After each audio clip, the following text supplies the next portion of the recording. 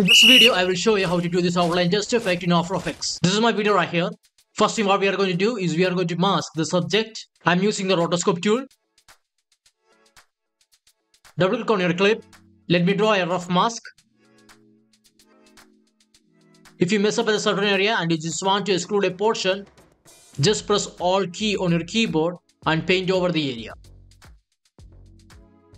And after the masking, go a few frames and check the mask if it's good or not. I just done a rough mask. Click on freeze. After Effects will automatically mask your subject. Go to the composition and create a copy of your video by pressing Ctrl plus D and select the bottom video and delete the rotoscope.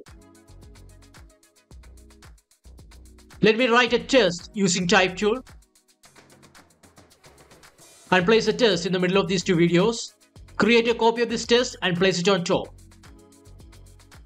Go to the camera section and click on this arrow to make the text stroke. And I'm going to add a null object by right click new null object. Select both the text and drag the pick whip tool to the null object.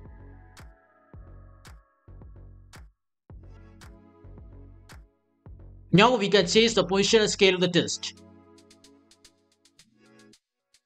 If you want, you can also add a glow to the text by going to Effects and Presets under Stylize Glow.